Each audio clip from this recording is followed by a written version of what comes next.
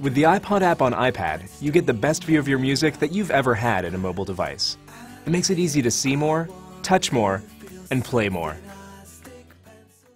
Just tap iPod to get started. Then browse your music collection just by tapping, flicking, and touching. You can sort your music in a variety of ways by songs, by artists, by albums, by genres, or by composers.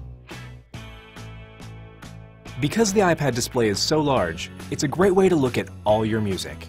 It's easy to find exactly what you want to hear fast. Just flick through your library, then tap an album for the list of songs, and touch one to play it. Cover art looks great on the big, beautiful iPad display. Just tap for playback and volume controls.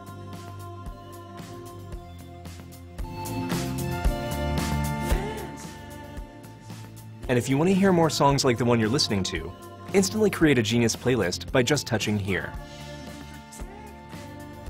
Or create a Genius mix to hear a great mix of songs from your library in the same genre.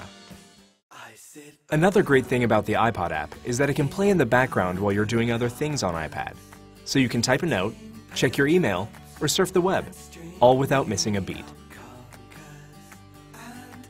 You have lots of different ways to listen to iPad.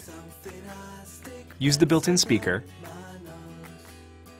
plug in a set of headphones or use Bluetooth wireless headphones, or connect iPad to your home stereo system and play your music throughout the house. With iPad, you'll experience your music library like you never have before.